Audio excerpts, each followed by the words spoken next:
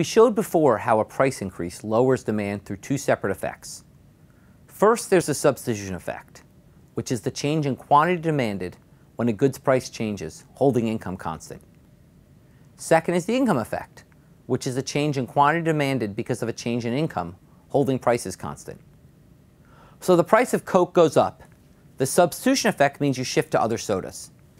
The income effect means that because the price went up, you feel effectively poorer. So you'll reassess what you can and can't afford and decide whether to buy more or less Coke. Let's think of this graphically using a concrete example. Here's a familiar graph with a budget constraint and indifference curve. The horizontal axis shows how much pizza you're eating. The vertical axis shows how many cookies you're eating. Let's say your income is $10 and both goods cost $1 each. Let's say you're consuming five units of each good. So five slices of pizza on the horizontal axis and five cookies on the vertical axis put you right here at point A. Note that this is the highest indifference curve you can achieve while still staying within your budget. That's from a few lectures ago. You always want to maximize utility given your budget constraint. Now, what happens if the price of pizza jumps to $2 per slice? Your budget constraint rotates inward. Before, if you spent all your money on pizza, you could get 10 slices. Now your budget only gets you 5 slices at most.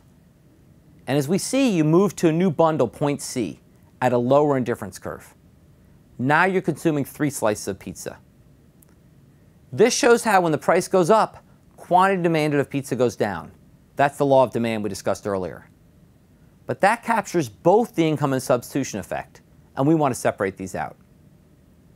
We can decompose these effects in two steps. First, what happens if you change prices but keep utility constant? This gets at the substitution effect, which is about the change in price of a good, but not the change in income. To see this substitution effect, draw an imaginary budget constraint that meets two conditions. It's parallel to the new budget constraint, so it reflects the new higher price of pizza, and it's tangent to the original indifference curve, so you're keeping utility constant.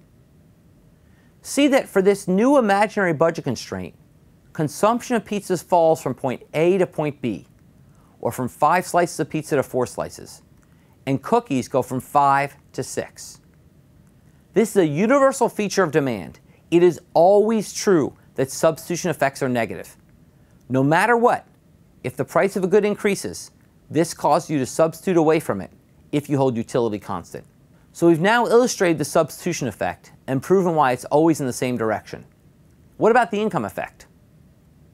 The movement from point A to point B is the substitution effect. So the rest of the movement from B to C has to be the income effect. And this makes sense. The income effect is about what happens if you change income while keeping prices the same. Now look at the movement from point B to point C. Here, you're keeping prices constant because you're moving from the imaginary budget constraint to the final real budget constraint, and they have the same slope. Since they have the same slope, that means the relative prices are identical. The only change is that the budget constraint, while maintaining the same slope, has shifted inward. That's equivalent to a drop in income while keeping relative prices constant, which is another way of stating the income effect. From point B to point C, you drop from four slices of pizza to three slices of pizza. So the total effect of the price change is the sum of the substitution effect and income effect. 1 plus 1 equals 2. In this example, the income and substitution effects went in the same direction. The pizza was pricier, so you substituted away from it. But the price change also made you feel poorer, and that also caused you to buy less pizza. That means pizza is a normal good on this graph. But remember that the income effect can go in either direction.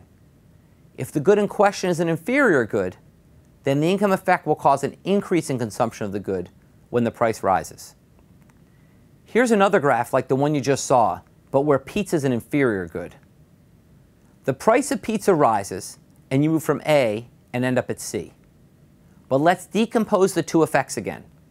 First, draw an imaginary budget constraint where utility is constant, but at the new price of pizza.